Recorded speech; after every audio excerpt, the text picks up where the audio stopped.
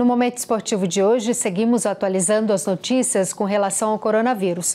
Hoje, William Lopes fala sobre a maratona de Nova York, a prova mais concorrida do mundo, que foi cancelada. Oi, Ana, tudo bem? Muito boa noite para todos, boa semana para vocês. Olha, vamos atualizando as notícias aqui, hein? Hoje a gente fala da Maratona de Nova York, porque é uma das provas mais cobiçadas, mais importantes do mundo inteiro. Olha o que tem de brasileiro que sai daqui para competir e para disputar essa Maratona de Nova York, não é brincadeira, não. Todo ano, mais de 50 mil participantes, todos os anos, eles estão lá é, disputando essa prova que é importantíssima no calendário do atletismo mundial.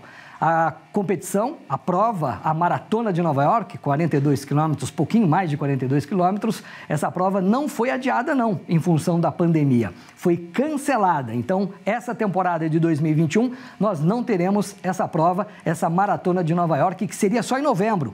Mesmo com tempo aí, é, os organizadores acharam por bem cancelar a prova. Só o ano que vem, então, seria a edição de número 50. Ela, a criação dela foi em 1970 e realmente, eu repito, a maior prova de atletismo do mundo. Todos os anos, muita gente realmente pensa em disputar e tem esse objetivo de disputar essa prova.